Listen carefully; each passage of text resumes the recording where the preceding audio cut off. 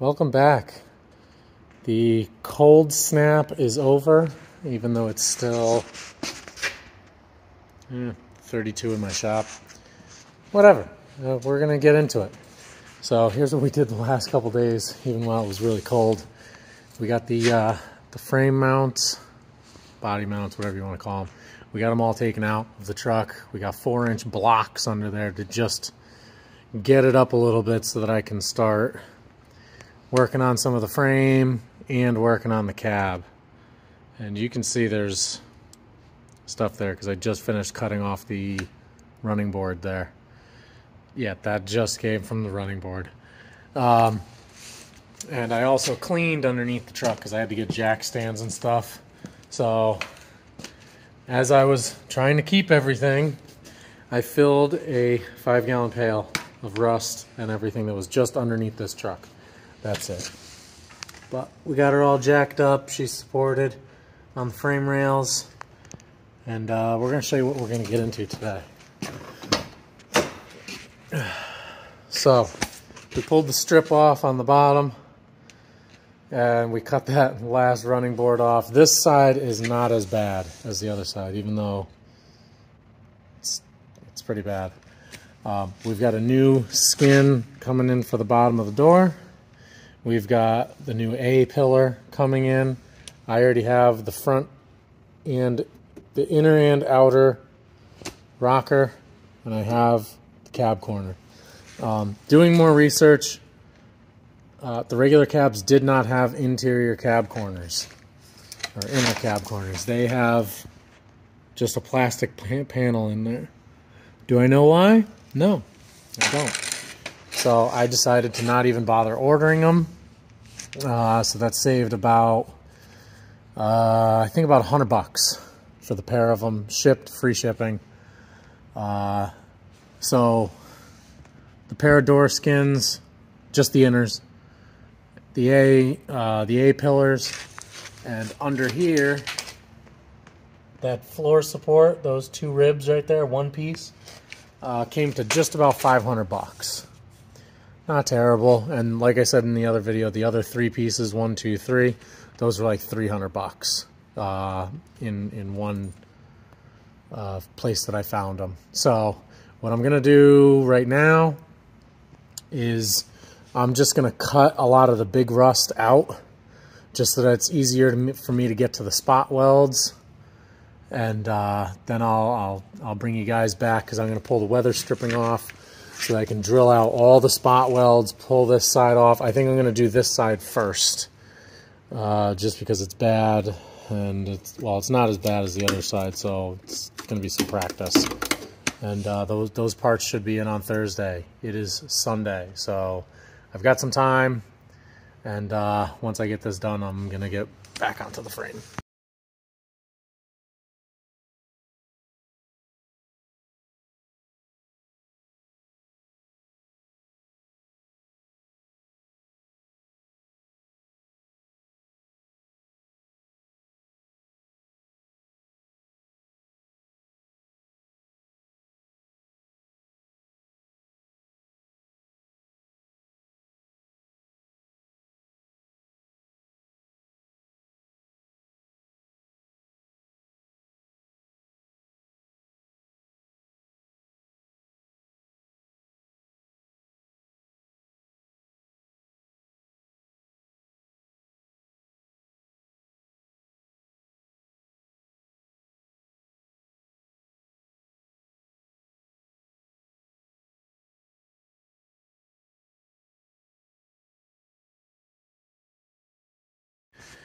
All right, so as you saw in the beginning of the video, which was last Sunday, um, I've been extremely busy with work. It warmed up. We got a lot of stuff done.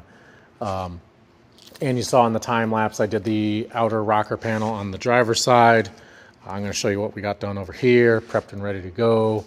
Um, I just finished painting the leaf springs for the front. So what we did is these were from the original pack. These were from the original pack. This was another pack that I pulled apart, cut shorter, and I'm putting three in the front. Why? Why not? Um, for those of you wondering, this is the tool that I'm using to drill out all the rivets, or uh, not the rivets, spot welds. It's 20 bucks on Amazon. This bit is changeable. This is the only bit that I've used, and I did everything on the passenger side with it and some on the driver's side with it. And I've only used one bit. Um, it comes with like 14 more, so I should be able to drill out everything on that side and any others that I need to. Um, you've got a point at the end, and it's on a spring. Works pretty well. What I recommend is when you're drilling out the spot weld, take, where is it? Take a punch, punch the center, and then that'll help keep this point in the center when you're drilling it out. I like it. It's great. Like I said, this is the only bit that I've actually used so far. And I've got, I don't know if you'll be able to see it, but one of the teeth is kind of munched up pretty bad. So I need to change that. But it's working great. I'm happy with it. And for 20 bucks, you can't beat it. Anyway, panels came in. Floor supports, left and right side. These are the outer rocker skins. These are the lower A pillars, nice and thick. I'm very happy. I'm very pleased with how thick this is as compared to the other stuff. Um, Cab corners, I already had them, both sides. These are the inners, and what we have to do is see these holes here. That's where um, running boards were originally mounted. So I'm going to cover those up. I'm going to cover up all the other holes because I don't. I'm not putting running boards back on it that mount to the cab. I'm going to make ones that mount to the frame that are just different. Um, why? Because I don't like cab mounted ones. They're not. It's not worth it. Um, so let's show you a couple other things. We went to the steel store, so I got the tubular steel for the scissor to mount it to the bed. I got the piece of C-channel that I need to fix the piece that was cut out of the frame on the flatbed. And then I got a piece of thick steel and thinner steel so that I can mount it to the hinges so that the bed is removable and not permanently welded on. I think I went over it in one of the previous videos that just due to not being able to remove these pins, I don't want to weld this right to the bed. I'm going to weld a plate to it and put a flange on it and bolt the bed to this. And I'm going to do the same thing with this. That's how I'm doing it so I can make sure that it's easy to change if something were to happen or if it got damaged or broken or whatever easy access to this. Now, um, there's quite a bit of a mess, but here's what we did. I didn't do anything to the doors yet. I'm still waiting on the skins to come in, which is fine. They're supposed to be here tomorrow. Um, here's that piece of plastic that I was telling you about that the regular cabs have. It's got some foam on it. Um, so I'm going to have to put some sealer on here when I put the actual cab corner on. And what I'm doing is I'm leaving this because the cab, the new cab corners are so much larger. I'm going to go right to this body line where it angles down. So I'm going to cut the new piece to this and just follow it all the way in and follow it all the way over.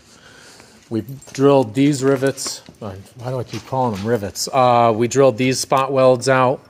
Um, this was a little too thick, so I got to drill that one a little deeper. Um, we got this measured and cut, and I unfortunately cut a little too far to the backing plate. It's fine, I can just weld it back up, but it's still a little rotted here.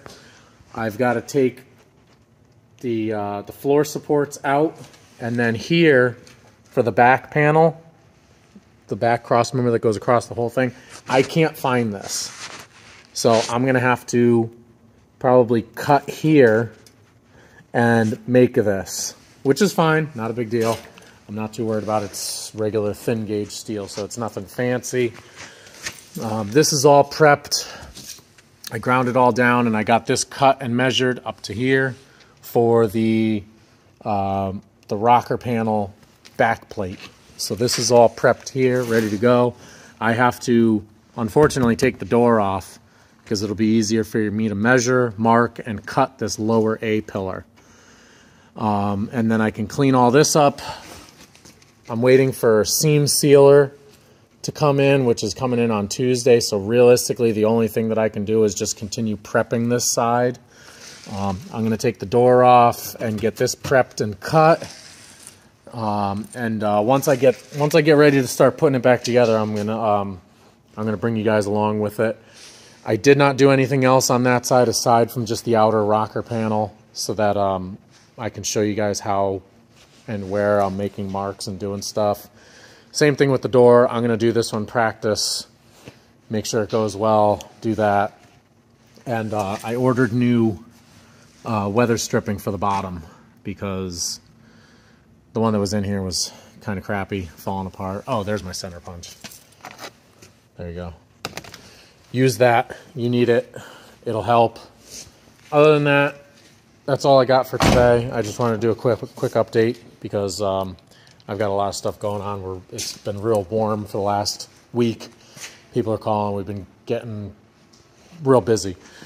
So if you like what you see, uh, give us a like, give us a follow subscribe, share it with your friends. Um, we're going to get more in depth on some of the, the body panel changes, and I think I've finally made the decision that I'm going to pull the cab. So I'll bring you guys along for that. And uh, hopefully by the next time that I do an update, the springs will be together, and we're going to do a big series on pulling the Dana 60 apart. So stick around. I'll see you next time.